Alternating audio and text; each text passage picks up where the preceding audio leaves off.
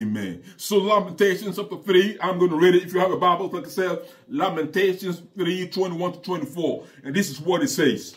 This is what it says. This I recall to my mind. Therefore have I hope. And then he goes on, look at it, verse 22. Look at what Jeremiah wrote. He says what? It is, it is of the Lord's mercies that we are not consumed, that we're not consumed because his compassion fail not. 23, they are new every morning. Great is thy faithfulness. And then verse 24 says, the Lord is my portion, saith my soul. Therefore will I hope in him. Beautiful passage. Especially when you consider this, the situation in which Jeremiah found himself and wrote this. This passage that we just read is about faith and hope. Faith is a close relative of hope. Faith is the oil, the engine that keeps hope going. Faith is uh, the oxygen that keeps hope alive. All of us here, we have hope for something. We have hope for certain things in our lives. I hope, you know, we, we're hoping that things will work out well for our future, for our family, for our country. We hope, we hope, we hope. And we, like I said, for the believer, hope is the confident expectation that God will do what God has said he will do. And so for us, hope is not a wish. So while faith accepts, hope expects. You see, that's why the Bible says in Hebrews 11, 1, what? Now faith is the substance of things hoped for, uh, the evidence of things not seen. And in Lamentations right here, in Lamentations uh, uh, 3, 21, 24, the prophet Jeremiah remembers something that triggered hope in him or hope within him. And that's why he said in Lamentation 3 verse 21, this I recall to my mind. Therefore have I hope. I remember something. What did he recall? Look at it. He looked at it and verse 22 says what? He recalled that it is of the Lord's mercies that we're not consumed because his compassions fail not. That's what he recalled. He, re, he looked back and then he realized that, uh, you know, the people of Israel were evil and wicked and, and, and, God had every right to destroy them. But God didn't do that. What, what rather, uh, rather he saw the mercies and compassion of God every morning when they deserved judgment. And today, when we look at our countries where we live, we see the kind of uh, uh, legislation that is being that, that is being passed, the gender agenda, the evil, the corruption, go around the world. Every country, so much corruption that people are dying just because of uh, leaders who are corrupt. And yes, so God hasn't destroyed the people, right? You know, and so you look back and you realize God is a God of patience, long suffering. And so Jeremiah looked back and he saw, mm, this I recall to my mind, therefore have I hope that uh, it is of the Lord's mercies that we're not consumed because his compassions fail not. See, this was one of the things that Jeremiah remembered. And you and I this morning, I, I want to encourage you, no matter what you're going through today, just look back yesterday, look at your life, and you know you messed up up and down, left and right, you know, in and out, but God has been gracious and God has granted you another day for you to, to, to, to, to, to what, to uh, remedy the, the behavior, the wrong behavior, the wrong attitude that we have. So Jeremiah looked back and saw that with this marvelous hope and uh, the sense of twins of heart and soul, faith and hope, and God's grace and mercy, Jeremiah realized right away that yes, God is in the house, and when God is in control, everything goes out real, real well. So we turn to this faith. It is, it is, it is by God's grace that we are not consumed with this marvelous hope and expression of faith in the unfailing mercies of God, Jeremiah looked to the distant future with renewed hope. And I'm encouraging you this morning that, like I said, doesn't matter where you live, and this morning look into the future with renewed hope. That's what the, that's what the passage right here, Lamentations 3, uh, 3 21, 24 is encouraging you and I to do. Look into the future with hope. With renewed hope. And then look at it again. Look at it. He also remembers something else. Verse 23. He remembered that uh, uh, God's compassion, they fail not, they are new every morning. And then he says what? And then he worshiped God and said, great is your faithfulness. Great is your faithfulness. And then verse 24, he goes on to say, well, the Lord is my portion. Nothing else, nothing else, nobody else, but the Lord is my portion. Save my soul. From within him, he, he began to worship and praise God. Huh? He said, great is your faithfulness. You are my portion. Uh, you know, my hope is in you. But what, what, brought, what, what brought about all this? Israel was in sin. Judah was in sin and about to fall to the Babylonians. The Babylonian Empire was about to was about to raze Judah. The people uh, were wicked. Jeremiah anchored his hope in God. You see, uh, they've been preaching, Jeremiah and other prophets have been preaching to the people, mend your ways, change your ways, mend your ways, remove, move away from sin. Just like today we preach the word of God and we tell people, move away from sin. Uh, uh, yeah, uh, can, you know, we tell people to what to drop the lifestyle of sin and embrace God, but it's all falling on God. Uh, uh, it seems to be falling on deaf ears, right? So it's the same thing was happening to uh, in Jeremiah's time. And so when he looked back, he realized that God had every right to destroy all of them, but God didn't do so. So look at it. Each morning when you wake up, no matter how terrible things were the day before or how insecure life seems to be, each dawning day, each sunrise gives you and I hope in fresh mercies, new mercies and, and, and new compassions from God. Every morning when we wake up, we, we go to bed not knowing what's going to happen, uh, but God wakes us up in the morning. So he says, so every morning we have, we, we, we receive fresh mercies and compassions from God. We all need a constant supply and, and, God has promised to send them without fail. God has promised to send what? His compassions and his mercies to you and to me without fail every day. No matter how bad Canada is, no matter how well you live, your country, no matter how bad it is, God's people like you and I, we can look to each new morning with renewed vigor in faith and hope. We can do that. God is a God of judgment, but he's also a God of grace and mercy. The twins I talked about. And wherever God lives life, he lives hope.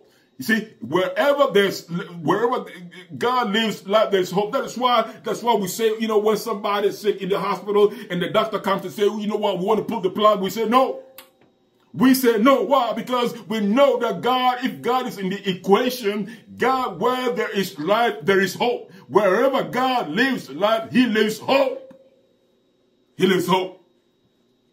He lives hope. So we see what? So, so what do we do? We see fresh mercies and compassions every morning, says Jeremiah. Adam, let me give you some example. Adam and Eve uh, uh, saw that in Genesis 3.15. When God cursed the serpent Satan, God at the same time introduced the twins his grace and mercy. So what? He's when that when God did that, God not only gave Adam and Eve uh, what uh, uh, uh hope, but He gave you and I hope. In Genesis 15, what did He do? God promised a Savior who came as Jesus the Christ. Look, look at it even in the severity of his judgment and, and in his no-nonsense correction of Adam and Eve, God still demonstrated his compassion because his compassion failed not. So Genesis 3.15 is the hope verse. Always remember that. Genesis 3.15, when you loosen hope, go back to Genesis 3.15 and see what God promised. It is the proto-evangelium, the, the first gospel. And all this, all that I'm talking about are recorded in the Bible. Huh? And Jesus fulfilled Genesis 3.15, that prophecy. And that's why we have, that's why when we look back, we've accepted Jesus and his word, the Bible. But you want to record it now. Get ready. Because from our human perspective, listen carefully, from our human perspective, do you see how long we had to wait for Jesus' virgin birth arrival on earth? From our human perspective. It took 4,000 years, according, you know, for us. But you know what the Bible says? A day is like a thousand years, and a thousand years is like a day in God's side, right? But it took 4,000 years for Jesus Christ to fulfill that Genesis 3.15 prophecy. So look look at it. Hope is about waiting. And God has a waiting room for his children. And I found out that a good part of our lives are spent in God's waiting room. Now you want to write, you want to write, write this down. We're waiting for God's direction. We're waiting for God's leadership. We're waiting for God's help. We're waiting for God's grace and mercy even in the challenging situations and needs of our life. We're waiting on God's promises. We're waiting for God's return, which is very soon. So, can I ask you a few questions this morning?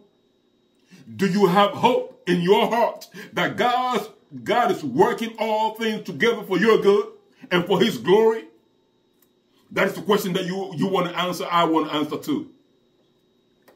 Are your circumstances causing you to doubt that God cares for you? That he fights for you and will come surely through for you in whatever ways he knows is best for you? Set your heart. Do you, do you, like I said, God has a waiting room and that's where we spend most of our, life, of our living life in God's waiting room. We can't rush God. We can't, I mean, it, it, it, walking with God is eh, it's not a, a microwave pop lifestyle. No, we wait on God because he's the creator. He knows what's best for you and for me. See?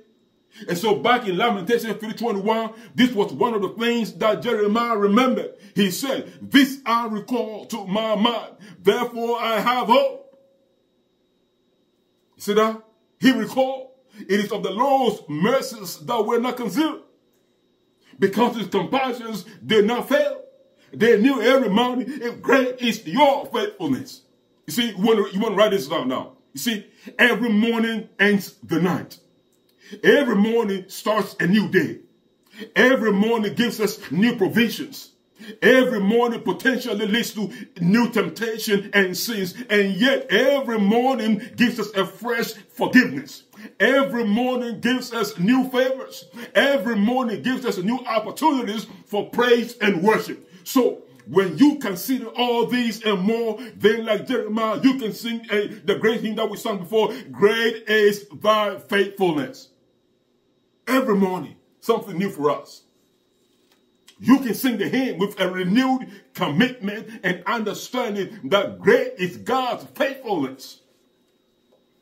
It doesn't matter where you live. You live in Canada, you live in uh, Grenada, you live in uh, China or Japan or Britain or France or where, Ghana, Nigeria, wherever you live. It doesn't matter at all. God's faithfulness is great. And like, Jer and like Jeremiah, you can worship God personally and you can address him directly. Great is your faithfulness. That's what he said. That's what Jeremiah did. He made it personal. And so I'm asking you, I'm challenging you this morning, make it personal. When you pray, when you when, when you worship, when you praise God, say, great is your faithfulness. Direct. Make it direct. Make it direct because you know what God has done for you. See that? See, in the process of remembering what God had done, remembering God's, uh, uh, uh, uh God's attributes, and Jeremiah the prophet started worshiping God. And you and I, we ought to be worshiping God. We ought to be in the frame of mind of worshiping God. Jeremiah was drawn back into living praise, fellowship, and intimate communion with this faithful God. He saw that. And that's why I said we look back and we recognize that what God has said, he has performed. And, and, and, we stand on that and we build upon that. And remember that all this was spared on by what? His country's woes, the problems that uh, his country was going through. So let me, let me shift and talk about Canada a little bit. The book of Lamentations is about the miseries of Jerusalem and the prophet Jeremiah is articulating the pain experienced in the collapse of Judah and Jerusalem. You see, see what I said? Babylon had invaded the place because it got to a time when God said, you know what? I'm going to judge you, Judah. I'm going to judge you, Jerusalem. And so God allowed the Babylonians to invade the place and take the people captive. And so Jeremiah bitterly bewailed the prevailing deplorable condition. And this was even more aggravated, you know, by comparing with the, the, the previous status of Judah when, when, when they were prosperous. But because of sin, because they, they were departing from God, now God, now things were getting worse. Things were getting bad. And we see that today in the, it, it doesn't matter what country you live in today, things are getting worse and worse. Go across, uh, uh, go across the, uh, uh, across the continent of the motherland. Go to South, uh, South America. Go to Caribbean. Right here, North America. I mean, look at it. God is coming. That's why. God is coming. Jeremiah and other prophets preached and preached and warned and warned and announced the coming Babylonian invasion as the judgment of God. And yet the people remained wicked and stubborn and refused to turn to God. The, isn't that what we're seeing today? That people are refusing. Matter of fact, today we see people rejecting God. Today, challenging God.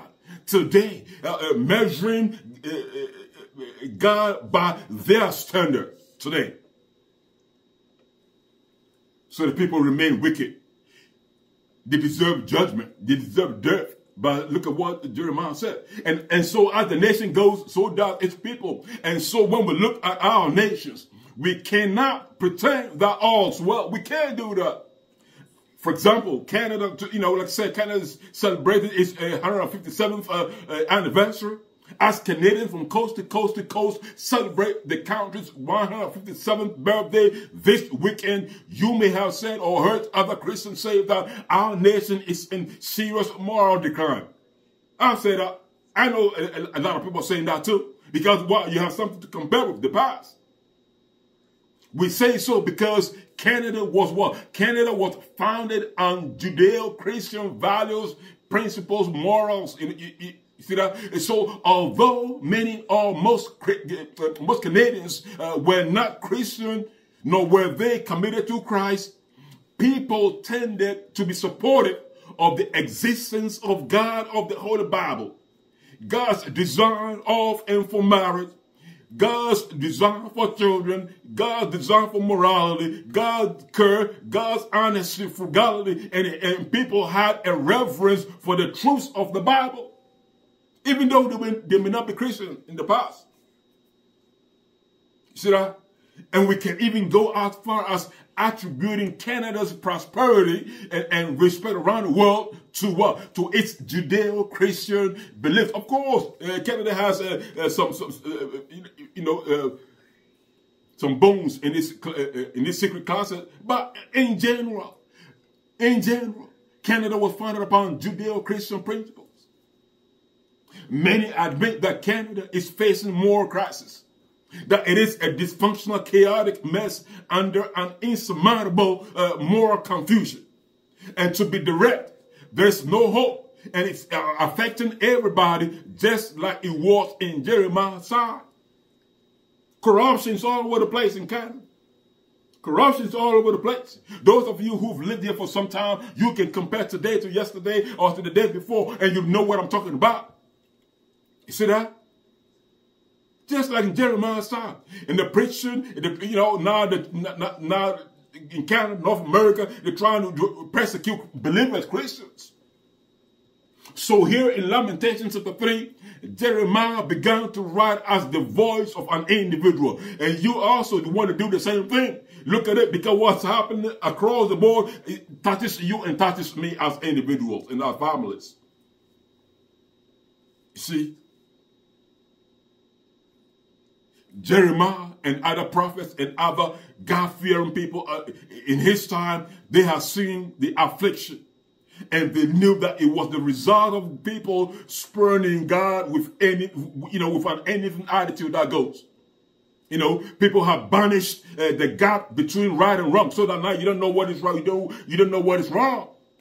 You know, uh, uh people have uh, distanced uh, uh, their feeling. People have taking on the feeling that morality is, is, is dispensable. You know, there's a, a redefining of morality to suit one's own self.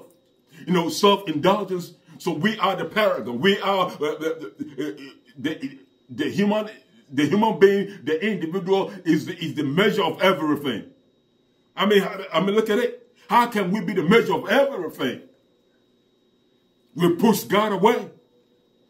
And so all of this can be summarized as the rejection of God by so many people in our society today. So Jeremiah, at the same time, that time, Jeremiah wrote Lamentations. He was lamenting the plight of his people, the loss of hope that was trickling down to everybody individually. And it's happened to us today. It's happening to us today. When, when our politicians are not making the right decisions and, you know, are, are abandoning God, you'll feel it, I feel it. You'll feel it, I feel it. Because what? Because now they can't think right, right. They can't think properly because they don't know right from wrong, huh? And so any policies, any legislation that goes out, that's what that's what comes out. Nonsense. Nonsense. And it, it, it touches you, it touches me, it touches our families. But Lamentations 3.21 is one of the things Jeremiah remembered. And he said, this I remember, this I recall to my mind. Therefore, I have hope. And this morning, I'm here to remind you that no matter, like I said, the circumstances, no matter what we're going through, and remember what, what Jeremiah wrote. Therefore, have I hope. And what did he recall? Again, back to our verse 22. It is of the Lord's mercies that we're not concealed because his compassions fail not. And then he adds, very new every morning. Great is your faithfulness, Heavenly Father. That's what he said. And then look at it in verse 24. What did he say? The Lord is my portion. Save my soul. Therefore will I hope in him. Therefore will I hope in him. See, this is the language of, uh, of, of a satisfied soul. Uh, uh, he's satisfied with the understanding and the acknowledgement and, and the testimony that he saw in God. So he's satisfied. Jeremiah had no other place of satisfaction than God. So his attitude was gratitude for the portion he received. And the portion that he received, uh, the portion that he received is what? The portion that he received was the Lord God himself. And so this morning, let me ask you again, what is the portion that you're looking for? What is the portion that you're looking for?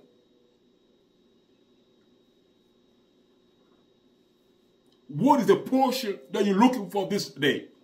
No way could God really be his hope until God was first his portion. And here I'm telling you this morning, you can't, you, you, you, you see, uh, God can never be your hope until you make God your portion.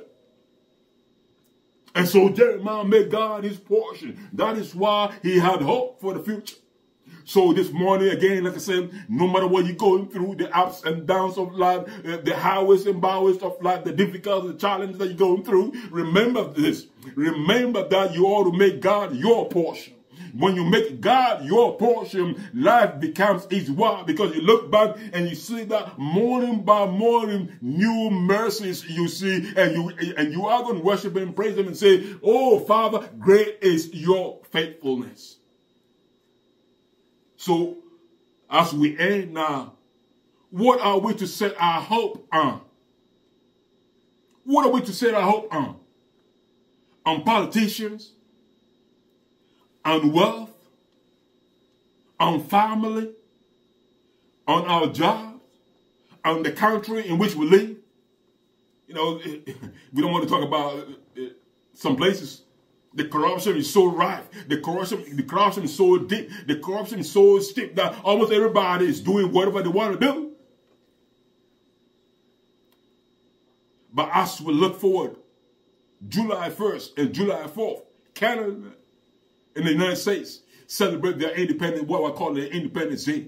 As we go for what do you, what are you setting your hope on? We don't set our hope on, on our jobs, on our councils, on politicians, on wealth, on family. No, we set our hope on God and on Christ's second coming. So we look back, we see what God has done. We see today what God is doing, and we look forward to Jesus Christ reappearing. So look at what it says. That's what we've seen in these series on hope. And that's what we see right here. Lamentations 3.24, the Lord is my portion. Save my soul. Therefore will I hope in him. It was hope for the future that guided uh, the apostle Paul. You know what we quoted before in the, in, in the beginning, Philippians 3, 13, 14 says what? Forgetting what is behind and reaching forward to what is ahead, I press toward the mark for the prize of the high call of God, which is in Christ Jesus. But look at it. While you wait, maybe you, you've been praying for something. You pray something before God. Listen carefully to what I'm going to say now. While you wait, while we wait, and while Titus, Titus 2, 13 says what? While we wait for the blessed hope, the appearing of the glory of our great God and Savior, Jesus Christ. Huh? While we wait, let me encourage you. Let me remind you that God is working more than any of us can see or comprehend right now. You want me to say that again? I'm going to say that again because it's important. It is important that while you wait, while we wait for Jesus Christ's return, while we wait for God to move in our individual lives each day, every morning, new mercies that we see, while we wait and wait and wait, huh? remember this. I want to encourage you that God is working more than any of us can see or understand or are aware of right now. He's got our best interest in his mind and his heart. Huh? Because we know Romans 8, what? Romans 8, 28 says what? all things work together for good to them that love the Lord, to them who are called according to what? His purpose. So we know that the love of God is with us while we wait. We're waiting for a reason. And that is why First Peter 3.15 says what? But in your hearts, revere Christ as Lord. Always be prepared to give an answer to everybody who asks you to give the reason for the hope that you have. That you have. We understand the issues that we go through every day. We understand the issues that we go through every now and then. But remember what Jeremiah said, huh? What Jeremiah said in the beginning. Morning by morning, new mercies I see. Great is your faithfulness because your compassions fail not. So Romans, and, and I'm, I'm ending now. Romans 5, 36, what? Not only so, but we also glory in our sufferings because we know that sufferings produces what? Perseverance. Perseverance, character, and character, hope. That's what the Bible says, Romans 5, 3. So as we bring our series on hope to an end today, as we bring our series uh, on hope by looking at our country, the country in which we live, let us remember what Jeremiah said. Let us remember what Jeremiah said. Morning by morning, new mercies we see. Your compassions, they do not fail. Great is your faithfulness. Do I have an amen here? We all know that God is God is faithful. And so as we think about it, as we as we as we bring the, uh, the sermon to an end, Remember, great is God's faithfulness. He, he was faithful to you. He is faithful to me. And as we pray for our countries, country of origin or adopted country, let us remember that we look forward to God. He's the object of our hope. Shall we please pray?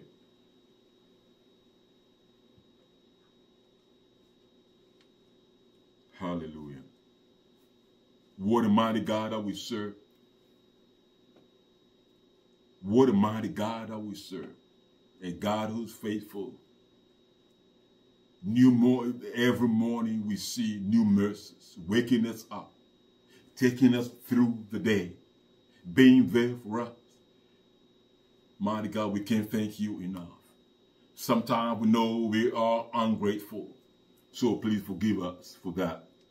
Strengthen us, Holy Spirit, so that we can be grateful, so that we can be sincere, so we can, like Jeremiah did, worship you directly and say, great is your faithfulness. Great is your faithfulness. You are my portion, and my hope is in you. You heard me this morning, and maybe you're not born again.